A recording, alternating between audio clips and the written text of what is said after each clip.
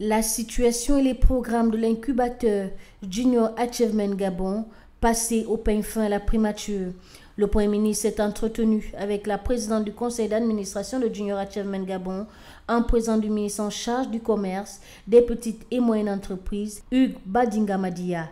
Le suivi des programmes, l'amélioration de l'employabilité des jeunes étaient les sujets au cœur de cet entretien. Comme vous le savez, Junior Achievement travaille euh, dans le cadre de l'amélioration de l'employabilité des jeunes Gabonais par des formations qui leur permettent de créer, d'avoir des bases financières et des bases en entrepreneuriat.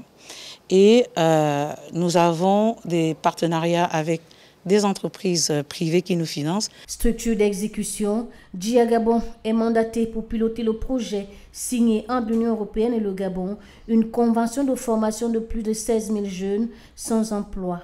Occasion pour la PCA de faire le bilan d'action de ce programme et présenter les défis et perspectives aux membres du gouvernement. Bilan positif à mi-parcours, mais on pourrait faire mieux.